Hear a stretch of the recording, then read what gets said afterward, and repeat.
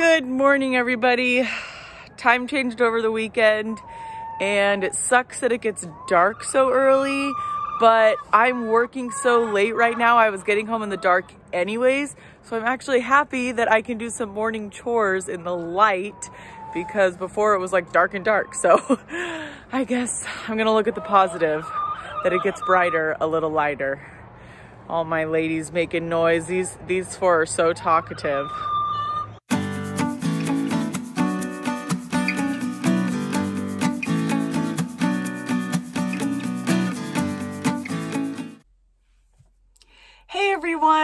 Welcome back to my channel. It's day 12 of corn harvest. If you don't know who I am, I'm Tara. I'm a farmer from Northern California. We are currently in corn harvest. I think tomorrow is going to be our last day, so the corn harvest series is almost over. I got it. And no details. And no picture of the leaning corn. I already have. We just finished harvesting our yield plot that we do um, for a contest. And it's in the truck, getting ready to go to the elevators to weigh it.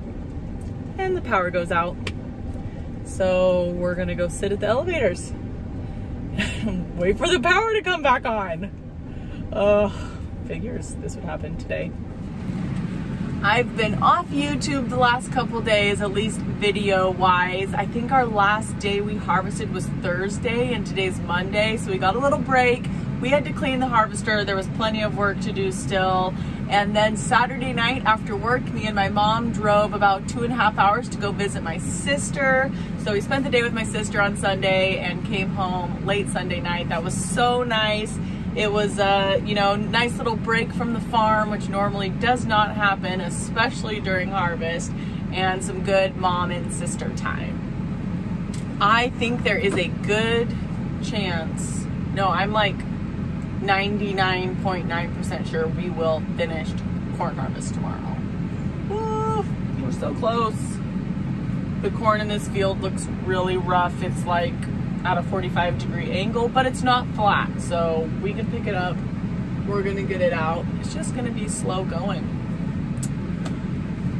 If you have been watching the corn harvest series, I just wanna say thank you so much. And remember to give this video a thumbs up. If you have not subscribed yet, please hit the subscribe button. It means so much to me. I've been asked this same question multiple times and I guess I have not addressed it. I definitely have not addressed it in the corn harvest series. Maybe in my past videos, maybe my origin story, I'd have to go back and look. But a lot of you have asked me how I came up with the name for Beaver Vineyards. My maiden name is Beaver. so it is not uh, creative or named after something other than myself. So my maiden name is Beaver, and that is why it's called Beaver Vineyards. Glad I got that out of the way. I guess I should put that in my about because I've been asked a lot. How did you come up with the name? Day 12. We really dragged this one out.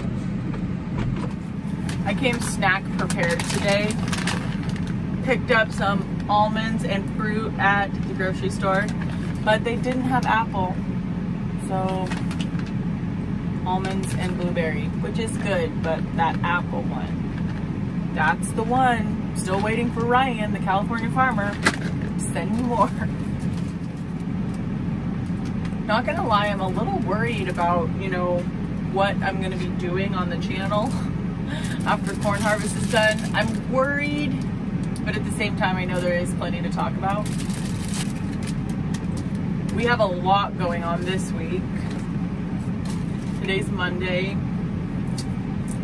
Tuesday we'll be harvesting corn, our last day. Wednesday we're planting alfalfa. Thursday I'll be driving a tractor covering the alfalfa. Friday I'll probably still be covering alfalfa but we have a job I need to survey for have to find time to interview my dad. We had someone come this morning, a couple people that made comments about my YouTube channel to my dad and how good it is. So if you know my dad, just keep telling him how great this channel is and that he needs to be on it. Because it's working. It's working. Baby steps. Yeah, that corn's leaning a little. Just a little. Look at all that corn. For how beat up this field is, I think it's gonna have a pretty good yield.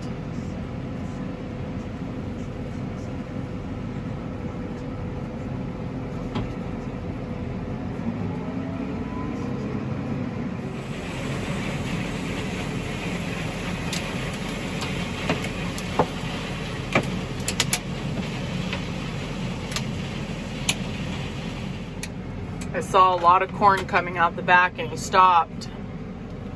He said he thinks something might have broke. So he thinks something. Like here in front of me, I don't see, I see a little, but not a lot.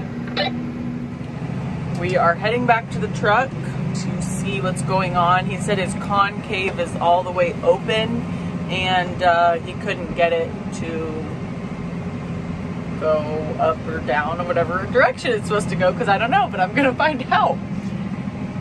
Anyways, he said something's wrong. He doesn't think something's working. Hopefully it just happened.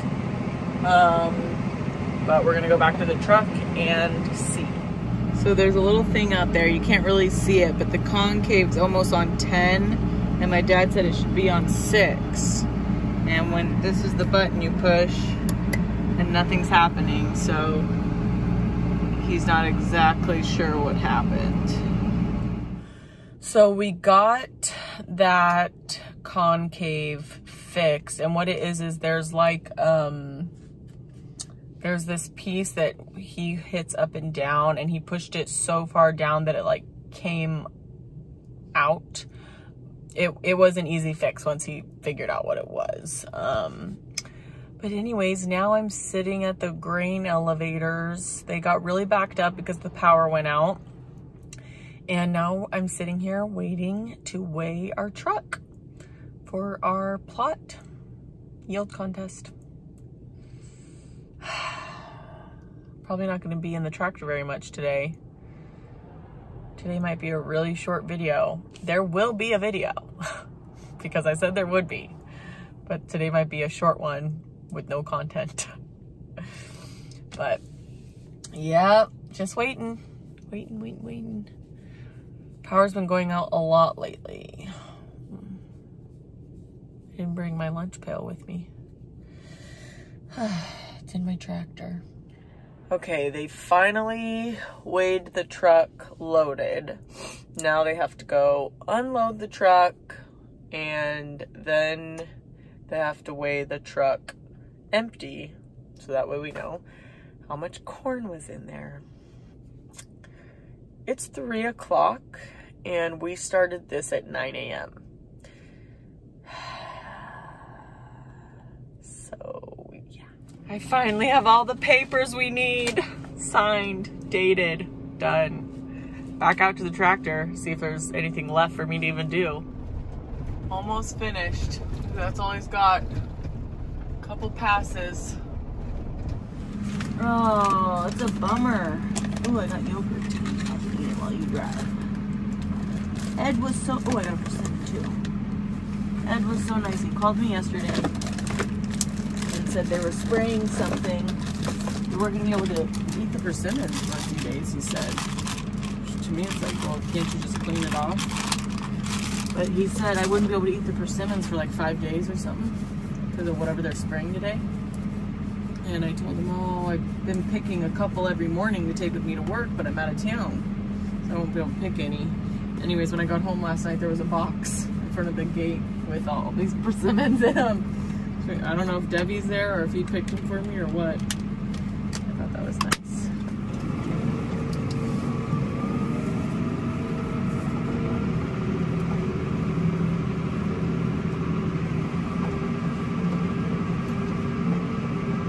Yeah, this yield estimate.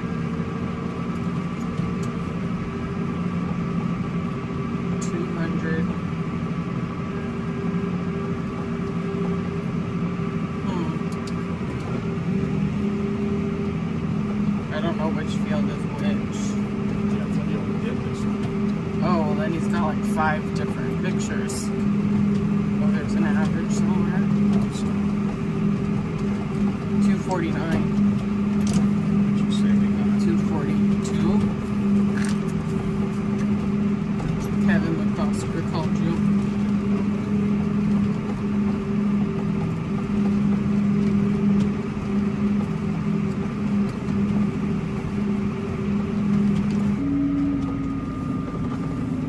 Yeah, well, we got three more passes to go.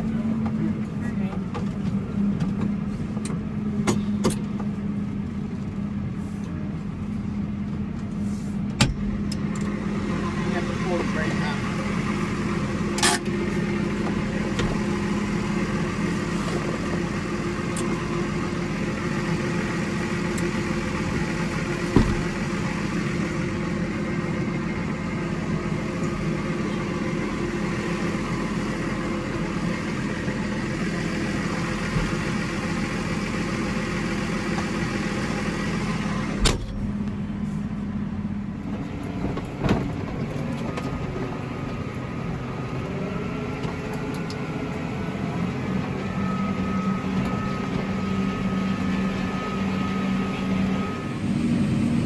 I feel like I got crap in my eyes.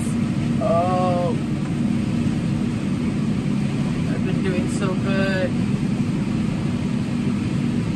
When I was at the elevators, I was standing outside and wearing my glasses.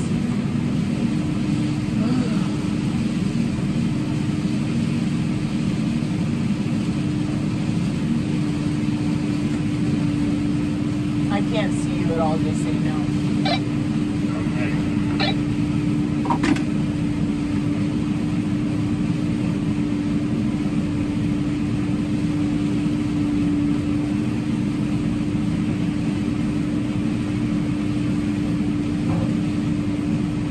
Okay, I did quit dumping, but I want to dump to the end, so I don't know how you want to do it, but you know.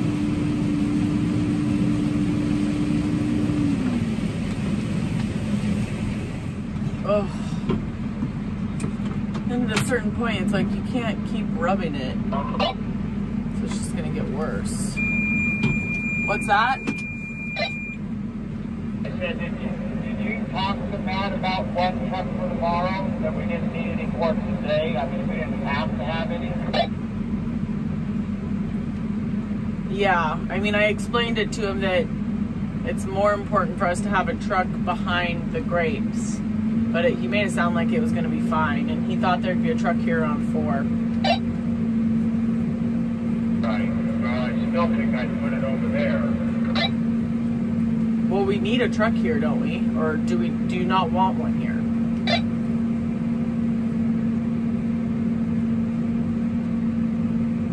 I'm just concerned if we've got anything getting messed up and he only brought us one, we need it for tomorrow.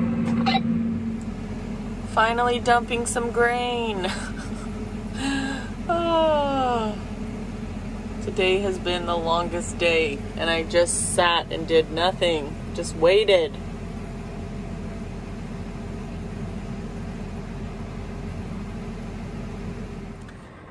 Now, unfortunately, we're a little short on trucks, so we have one more plot we have to harvest tomorrow. Um, so I'm gonna take a truck over there and we're not gonna be able to finish. We're gonna be like one pass short because the trucks are full and I won't overfill a truck. That's a wrap on day 12. Unfortunately, we left eight rows standing in that field. Our bank out is full, the harvest is full, and we're not getting any more trucks tonight. So it's not the it's not the grain elevator's fault. The power going out really screwed them up and got them all back, backed up. But tomorrow should still be our last day of corn harvest. I hope you guys have a great evening. Please remember to hit the subscribe button and a thumbs up, and I'll see you guys tomorrow. That's all that's left in this field. Eight rows.